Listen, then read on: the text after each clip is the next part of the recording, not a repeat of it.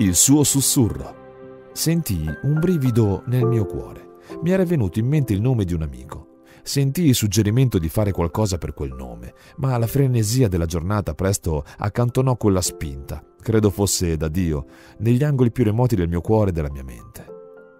Il giorno dopo quell'agitazione era ancora più accentuata. Non riuscivo a togliermi il nome dalla testa. La persona a cui si riferiva il nome aveva attraversato momenti difficili mentre accompagnava sua moglie nelle cure per il cancro.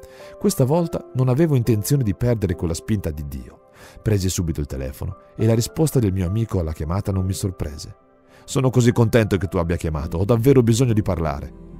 Sono stato così felice di aver chiamato e il mio unico rimpianto è stato quello di non aver seguito la guida dello Spirito Santo prima.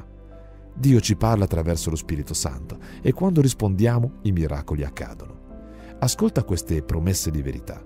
Se voi mi amate, osserverete i miei comandamenti e io pregherò il Padre ed egli vi darà un altro consolatore perché sia con voi per sempre. Lo Spirito della verità, che il mondo non può ricevere perché non lo vede e non lo conosce. Voi lo conoscete perché dimora con voi e sarà in voi. Vangelo secondo Giovanni 14, 15, 17. Non sapete che siete il Tempio di Dio e che lo Spirito di Dio abita in voi? Prima lettera ai Corinzi 3:16. Dio parla attraverso il suo Santo Spirito e quello stesso Spirito è dentro di te, proprio ora.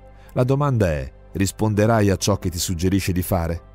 Cosa succederebbe se scegliessimo di dire sì a ogni suggerimento dello Spirito Santo che sentiamo oggi? Mi chiedo quanti miracoli potremmo vedere attraverso un semplice sì. In questo momento potresti sentire un po' di tensione e chiederti ma come posso sapere con certezza che è Lui?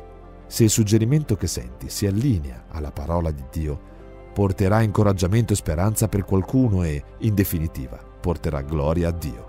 Preghiamo. Spirito Santo, oggi ti ascoltiamo. Quando richiesto risponderemo. Rendici sensibili ai tuoi sussurri silenziosi. Oggi vogliamo solo fare la tua volontà perfetta e gradita. Amen. Ti sei mai chiesto perché Dio sussurra?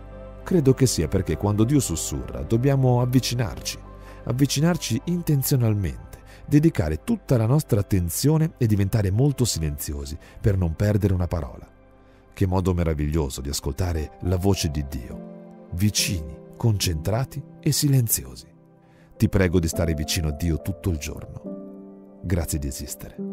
Grant.